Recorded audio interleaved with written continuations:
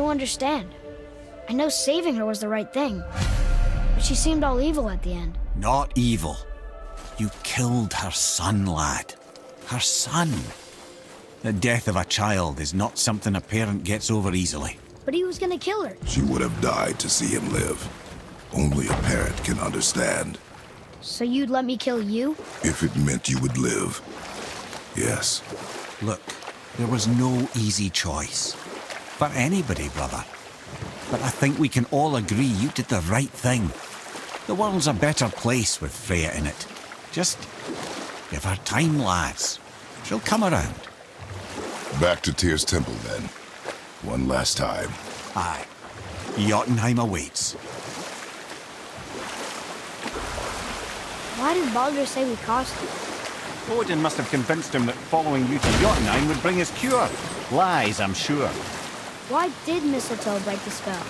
Vanir magic is powerful, but its rules are slippery and elusive. I'm sure it makes sense if you're a witch. Oh, but it's also bloody tragic. Baldur was the greatest gift Odin granted Freya. The one thing she treasured from their marriage. She only hoped to spare him pain and spare herself loss. Such impulses can lead good parents to make terribly stupid decisions.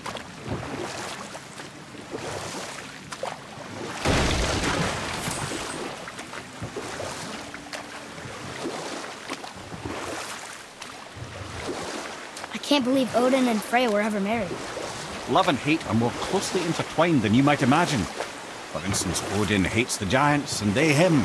But Thor's own mother was the giantess Fjörgyn, one of Odin's great loves. So Thor's half god and half giant? Weird.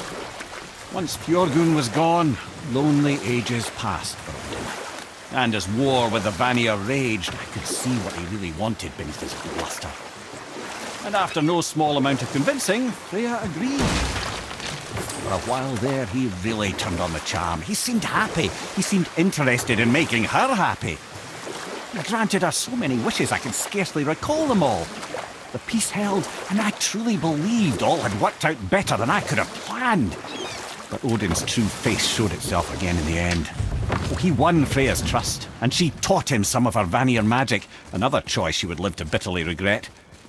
And we'll pick this up later.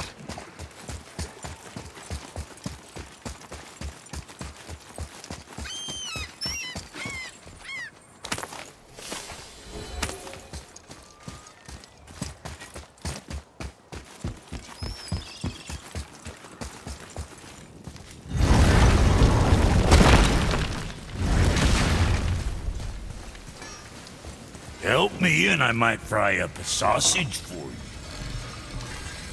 Yeah, next time.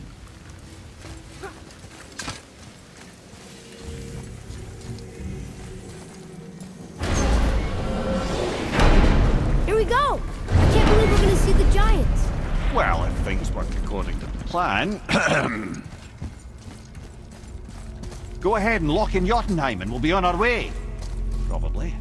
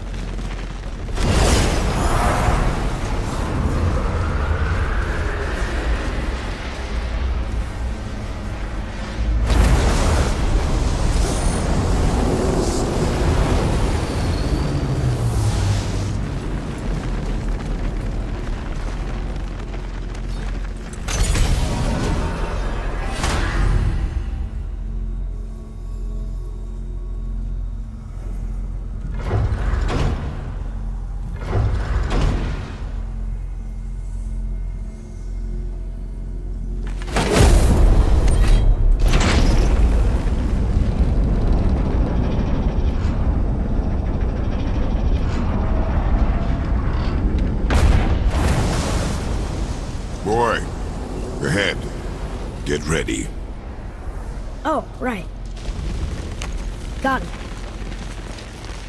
Let's hope this doesn't cause you to explode or anything. Oh, hadn't considered that. Maybe we should talk about this a bit more. Nah, I'm sure you'll be fine. Ready? That's unpleasant! Now, boy!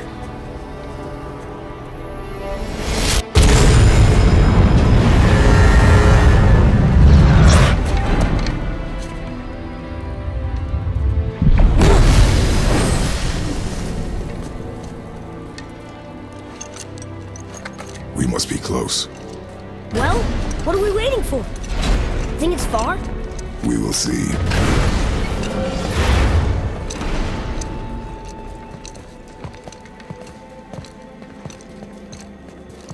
A word, please, before we continue.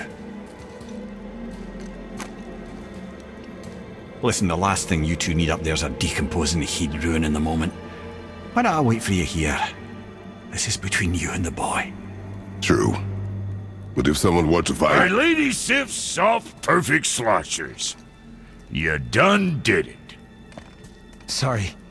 We had to see this. Oh, no. No, no, no, no, no. Fine, damn it. Fine! Watch the head till we return. I can do this. No, no, I can't. Oh, Okay. Ready.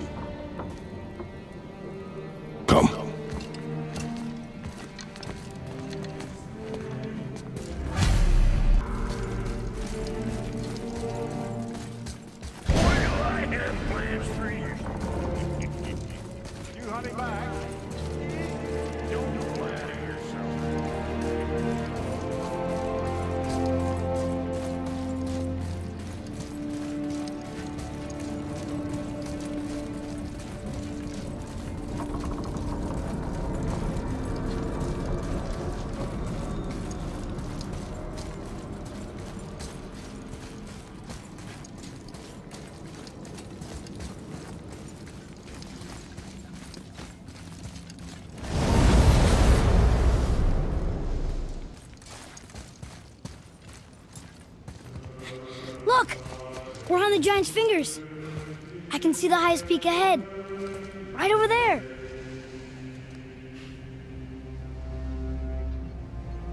We did it.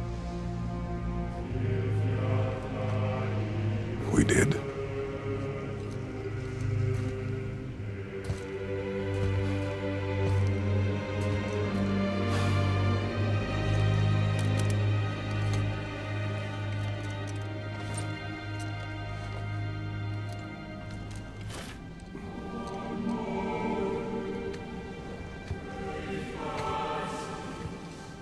What are you doing? I have nothing more to hide.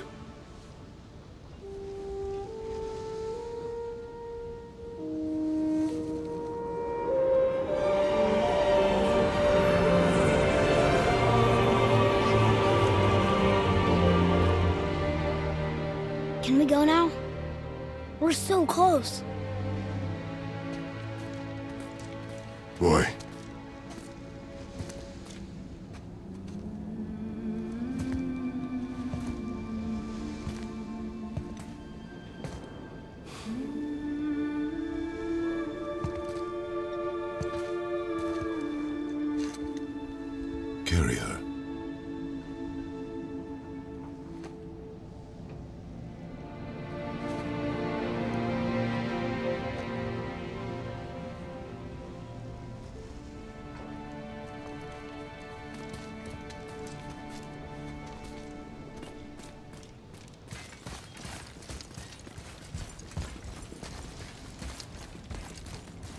Hmm. Boy, It's nothing. I just thought I'd hear voices by now.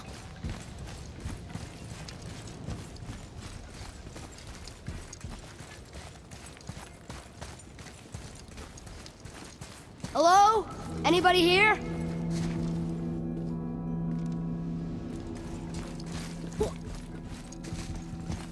What is this place? They must have all come through here when they left Midgard. What was left of them. Why carve all these faces? What if this is all of the giants that got out of Midgard alive? Not really many at all. Odin and Thor ruining everything for everybody.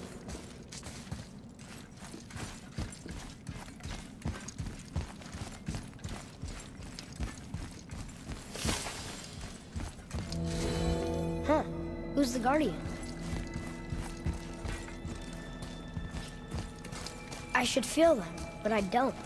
This place is dead. What happened to them? Why'd Mom send us here? One question is answered and two more take its place.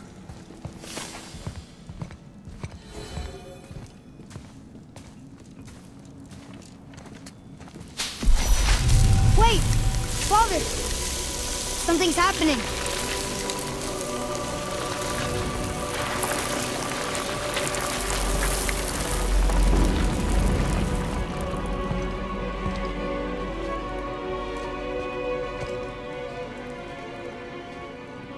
Your axe. It's Mother. Look. She's arguing with a bunch of giants. She knew giants?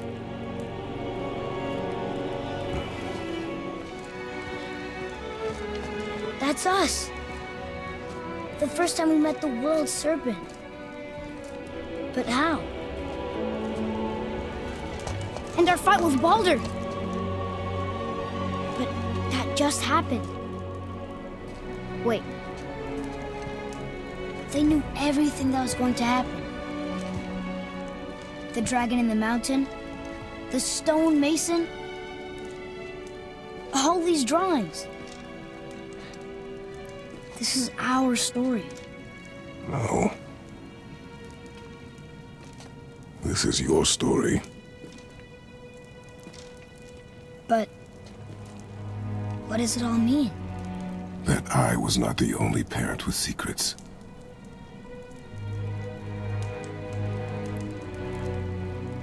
You didn't know. She was a giant.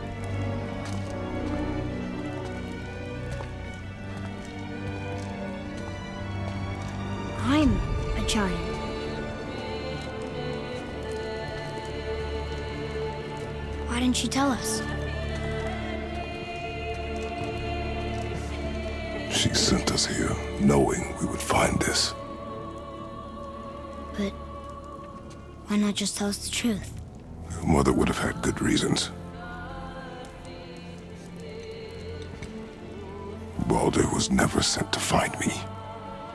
He was tracking her all along, not knowing she was only ashes. She had a plan for us, I trust it. Whatever it is. Besides, she hasn't been wrong yet. Come on. We're so close to the end now.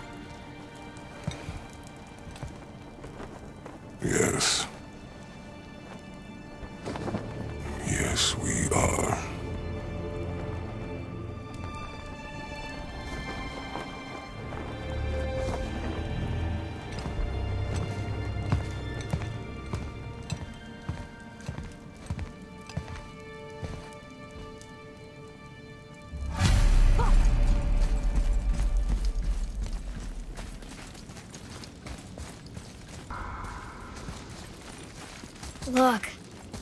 It's Mother's. She was here. She saw every step we took before we took it. Like she was always with us. Watching over us. Leading us home. Let's finish it.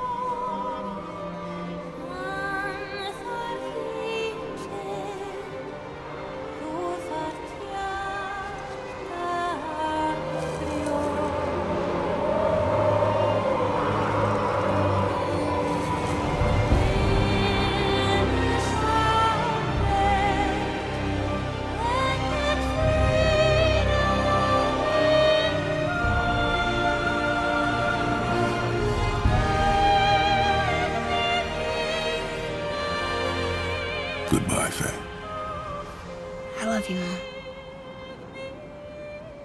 The Giants. They really are all gone. There's nothing for us here. Come.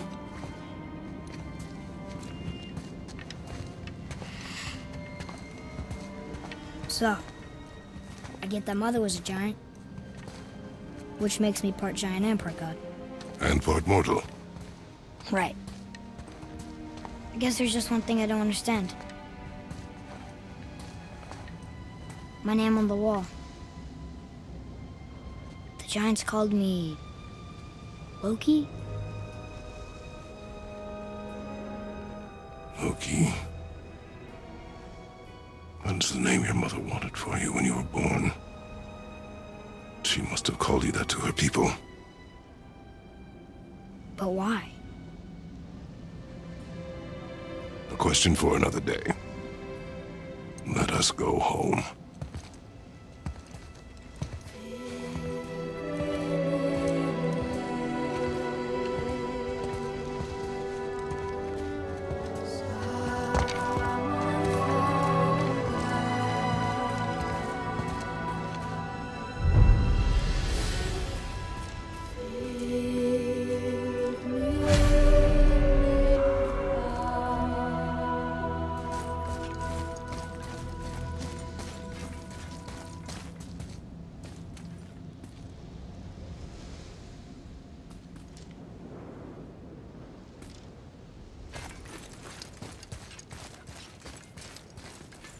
All makes sense now.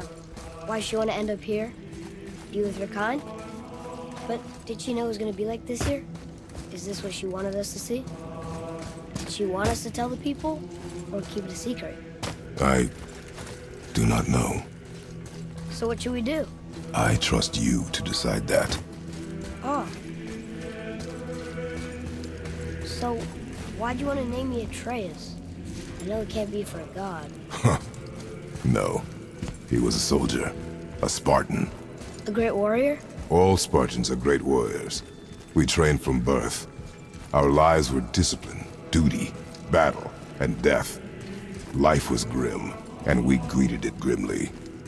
Hmm. But Atreus of Sparta was unlike the rest of us. He wore a smile even in the worst of times. He was happy. He inspired us to hope that though we were machines of war, yet there was humanity in us. Goodness. When the day came for him to lay down his life in battle, his sacrifice saved countless others and turned the tide in our favor. I carried him home on his shield and buried him with all the honors of Spartan custom. His memory was a comfort in dark times. Wow, you actually told a good story. We missed it.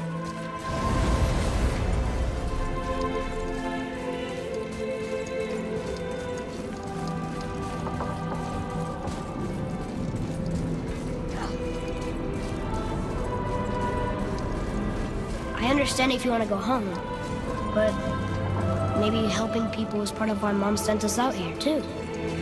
I mean, what would Atreus of Sparta do? And what would Loki do? Huh. That's a weird name. I'm glad we went with yours.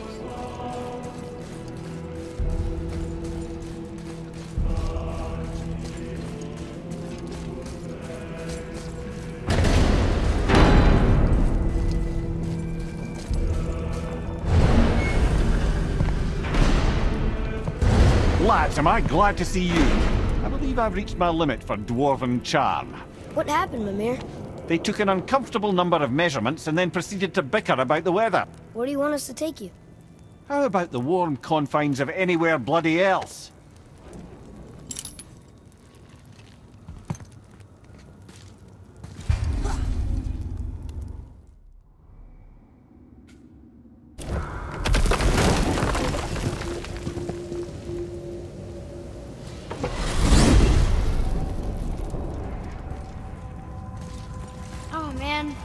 The the Unity Stone, didn't it? I wanted to fly again. Yes, that's a terrible pity. Why is Odin so desperate to find a way into Jotunheim anyway? He's convinced the giants hold the key to changing his fate when Ragnarok comes. They are the Aesir's oldest enemies, after all, and it's their army that's supposed to do him in in the end. But more than that, he covets their gifts of prophecy. He wants to know what they know and see what they see. So much suffering could have been avoided if his insatiable curiosity was not so much stronger than his wisdom. What do you mean? Ah, remind me to tell you why they call him the Lord of the Hanged.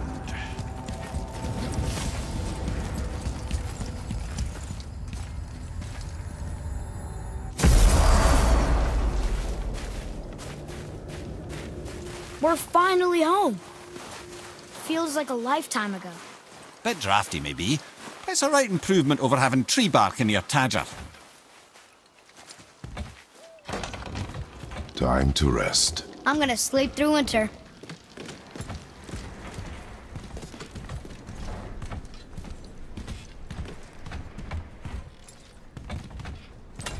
Okay, this'll do. Sleep. Way ahead of you.